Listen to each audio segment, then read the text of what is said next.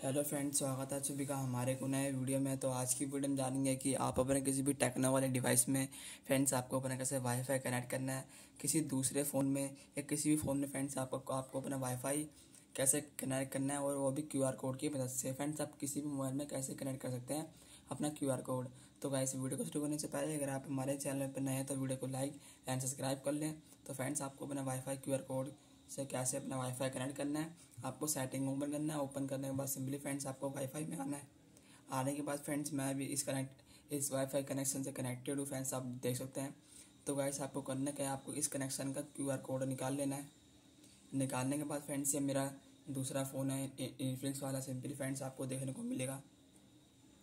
Friends मेरा Infinix वाला phone है सिंपली फ्रेंड्स आपको इस वाले फ़ोन में भी सेटिंग ओपन करना है।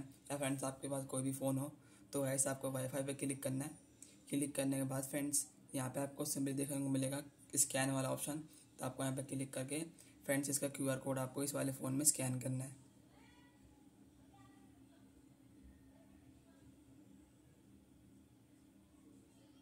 फ्रेंड्स स्कैन हो रहा है।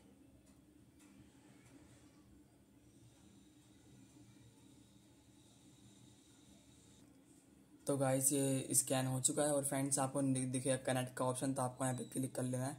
और फ्रेंड्स यहाँ पे आप देख सकते हैं कि क्यूआर कोड की मदद से हमने इसी तरीके से अपना वाईफाई कनेक्ट कर लिया। फ्रेंड्स आप देख सकते हैं।